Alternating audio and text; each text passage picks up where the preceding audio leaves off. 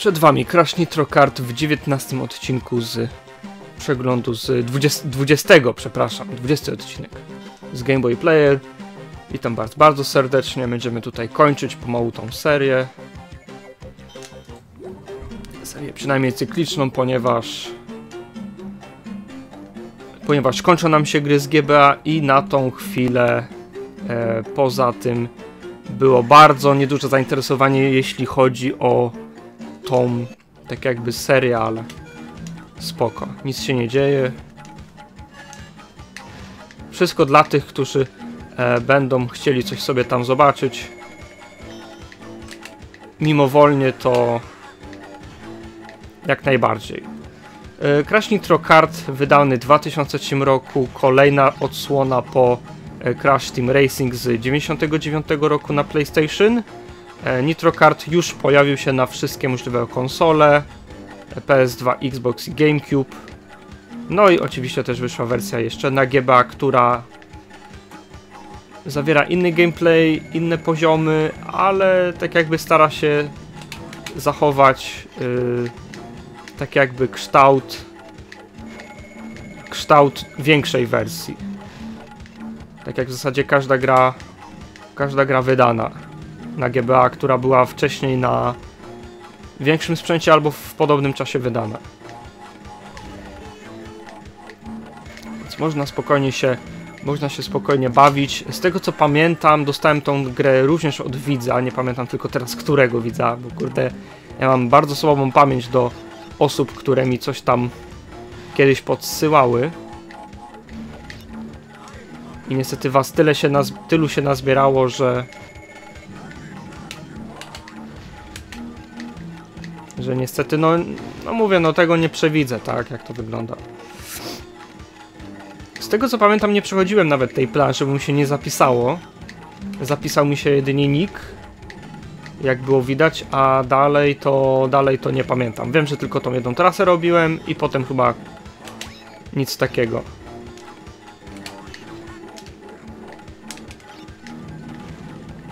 Potem nic takiego już nie robiłem tutaj. Także w tamtym czasie końcówka lat 90., początki 2000 dużo gier pojawiało się właśnie z serii takich kartingów. E, po sukcesie Mario Karta i Mario Kart 64, no to widać, że dużo twórców z innych studiów chciało e, swoją grę na bazie właśnie takiej jakby e, ścigałki. Niektóre są dobre, niektóre są kijowe. Więc no nie ma co się dziwić trochę, że rynek w pewnym momencie się przesycił jednym mechanizmem gry, a tak naprawdę tylko inne postacie, inne trasy, a robimy dokładnie to samo. Że tak jak już wiele razy mówiłem, w generacjach zawsze się trafi coś takiego, że taki mechanizm najprostszy. E, zostanie jakaś wydana gra, odniesie bardzo duży sukces i później reszta twórców będzie chciała podobne gry robić. Rynek jest zalewany bardzo podobnymi grami. Pojedziemy sobie na drugi wyścig. Dobra, zobaczymy dalej, co tam jeszcze tutaj nam... Co tam jeszcze nam ta gra pokaże. I później wiecie, przez lata gry są dokładnie takie same. Może inny schemat troszkę, może inna tak jakby otoczka y, samej gry, ale wiadomo o co, o co się rozchodzi, tak? Wiadomo, że... O kurde, ale wpadłem do wody.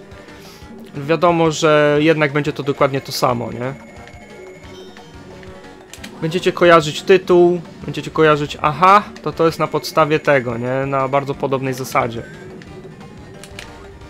Tak to wygląda, nie? Ale mimo wszystko Crash Nitro Kart jak najbardziej mówię, no lubimy, lubimy takie wyścigi, no to nie ma problemu, żeby sobie e, zagrać. Strasznie ścina tylko tutaj w tym e, w tym momencie. Nawet y, zacytuję taki komentarz, znaczy nie zacytuję, ale pokażę tutaj komentarz osoby, która mi nie wierzy, że gry na GBA mogą być w trójwymiarze. Że ona w ogóle w to nie wierzy. No to... Co prawda może sceneria nie jest tutaj kompletnie trójwymiarowa, bo postacie są sprite'ami, Tutaj mamy tak zwany Mode 7, który kojarzymy z Super Nintendo, ale są gry na GBA, które naprawdę są w trójwymiarze, tylko pewnie ta osoba w ogóle o tym nie wie, że coś takiego występuje. Wolfensteiny, Dumy, dużo strzelanek powychodziło y, z gatunku FPS. E, też naprawdę bardzo dużo gier z tego korzysta mimo wszystko. Ale wpadłem. Co to było? się zapytam. Więc GBA tak naprawdę jest zdolne do generowania, ale bardzo prostej grafiki 3D. Zobacz sobie Need for Speedy, drogi użytkowniku. Need for Speedy. Tam nie jest udawany trójwymiar, tam jest na taki trójwymiar, który jest w stanie e, GBA obsłużyć. Serio. Tutaj może to, to, to, jest takie bardziej umowne 3D pseudo, ale no w tamtych grach, co omawiałem wcześniej, no to jest trójwymiar, bo widać. Widać poligony.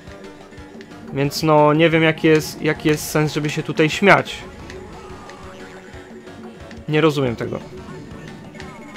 Zresztą Game Boy Advance, to chyba sama nazwa mówi, że to jest Game Boy zaawansowany, to już nie jest e, Game Boy pierwszy czy kolor, gdzie no dobra, 8-bitowa tam grafika była i w, zwłaszcza w kolorze, no był kolorowy wyświetlacz e, kolorowe gry były. Game Boy Advance, jak sama nazwa mówi, to jest bardziej konsolka zaawansowana technicznie, więc może sobie pozwolić na jakieś tam e, fajerwerki, nie?